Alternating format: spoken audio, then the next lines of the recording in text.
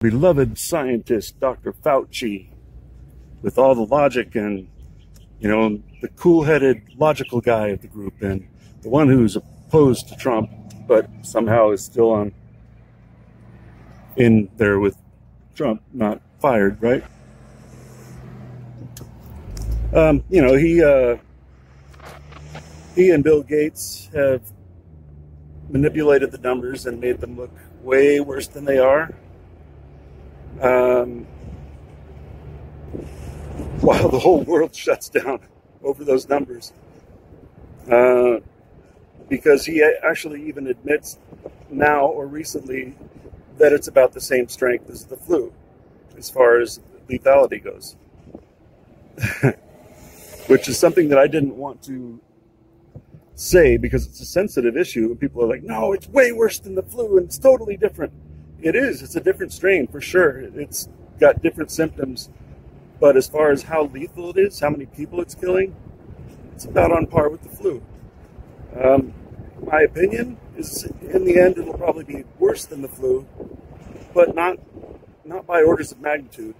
Some, but not not 10 times or more. Like they said 30 times, 34 times worse than the flu is what they originally estimated as far as lethal goes. They estimated the death rate was 3.4% when it's actually 0.1%, which is 34 times. So that's a slight offset, slightly inaccurate. So um, he's uh, people are calling for his arrest, and uh, I agree. In fact, I think there's no punishment large enough because his actions are going to cause millions of deaths. Um, him and Gates, they've fooled the world and need to be held accountable. Um, and fortunately, the world is uh, caught on. There's a very large group of people, and the media is starting to talk about it. He's no longer the uh, America's sweetheart that he was a week or two ago, uh, which is great.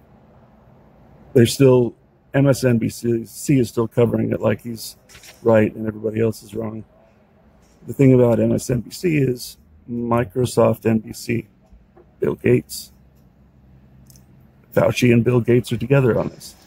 Vaccines, etc. So this is a huge conspiracy uh, with a lot of moving parts. But Fauci's right in the center, and in my opinion, so is Trump, because they work together to block vaccine or sorry, block testing. So it seems like Trump supporters think that he's uh, um, not involved or that he's, you know, that he's a, a foe to Fauci, that, that, he opposes him. And I imagine he will fire him um, just from popular demand. But the thing is, they've colluded with the testing. So Donald Trump has blocked Fauci from testifying before Congress. Excuse me. Gotta drive. So, yeah, Fauci has blocked Donald Trump. I'm sorry, Trump has blocked Fauci from testifying before Congress. Now, why would he do that if he was innocent of being involved with Fauci doing things that he doesn't want Congress to hear about, like blocking testing to increase the numbers that look bad in order to probably sell vaccines, although I don't know about Trump's direct connections to any vaccines. Um, so I'm not saying for sure he's connected in that way because I just don't know. But there's got to be a reason that Fauci is still on the team because if you look who Trump surrounds himself with, Fauci is not does not fit in. he does not fit the mold. Um, so it, has got another yet another divide between the left and right. Um, the left being uh, pro Fauci, pro MSNBC, and the right being anti.